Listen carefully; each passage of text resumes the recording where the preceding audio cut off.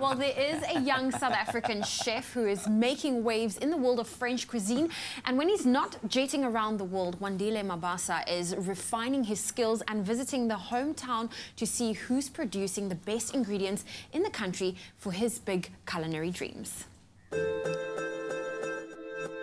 Soweto-born Wandile Mabaso's dream of becoming a chef has sent him from South Africa to New York and to Paris. He is currently based at two Michelin-starred restaurant Le Meurice, where he works alongside renowned chef Alain Ducasse. Cooking around the world has taught me so many things. I've come across so many different chefs from different cultures, different countries, and it exposes you to different ingredients and techniques.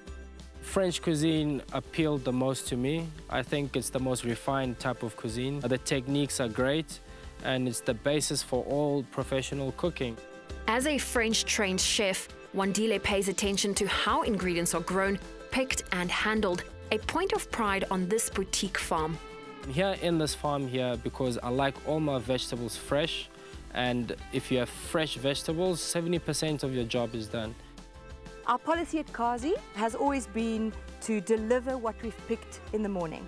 So nothing that's on your plate or that arrives in your kitchen will be picked on another day. Our guys come in at half past five in the morning and we start picking. What we have at the moment in season will be baby carrots, baby beetroots.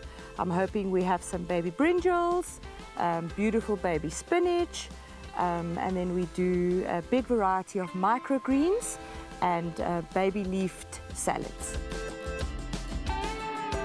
I started cooking at age 10. I'm not sure exactly where the passion came from, but it's been there since day one and it's never left. And when I come to farms like this, it just reminds me exactly why I started.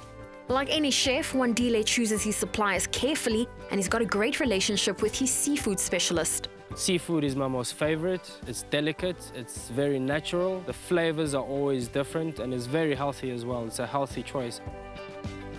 Henry over here, he recommended that I get a Norwegian salmon. The marbling is perfect, the fat content is amazing. Can you explain how you yeah. keep it so fresh? We fly it in three times a week okay. to ensure freshness all the time. From a sustainability point of view, Global GAP, yes. which in short stands for Good Agricultural Practice. Yeah, that's very important. The way they look after yeah. the fish, the way they feed the fish, yes. um, the way they catch the fish as well. You can see in the nice torpedo shape of the whole salmon we have here, the beautiful color on the gills. A French menu is really without meat, and having a good butcher means being able to trace the meat back to its point of providence. Now, Danny, I've used lamb from all over the world. I've used uh, American lamb, I've used lamb from Australia, and I must say, here in South Africa, we have the best lamb in the world. Now, what does it take, and what do you actually do with this lamb to make sure that it tastes so good? These animals come from the Free State. It's, it's homegrown. That's the first thing. The second thing is, is that happy animals produce wonderful meat. We do use soybean meal to mix in a bit of protein for the animals, and that way it sustains them through the winter months. It's going to cause phenomenal flavoring. And the next part I want to show you is the dry aging. Yeah, please show me flavor. The best way to get flavor out of beef is by aging it. We basically employ two different methods of aging. One is called wet aging, the other one's called dry aging. The difference being is wet aging is also called lazy aging. It's done in a vacuum bag. Dry aging is on the bone.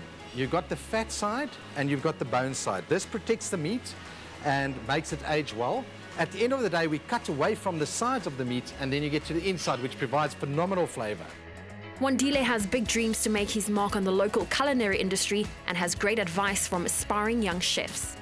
First and foremost, get into the industry for the right reasons, for your passion, for cooking and the love for food. And through all the tough times that you're gonna go through, that's the only thing that's gonna keep you going. And secondly, I would say get out of your home country, explore more, meet new cooks from different countries, come across new ingredients, new techniques, and that just opens up your mind to a whole new level that you'd never thought you would have. With so much talent and a clear passion for food, South Africa awaits with excitement for the day Wandile Mabaso serves up his cuisine on home soil. Food has been the perfect gateway for me to travel.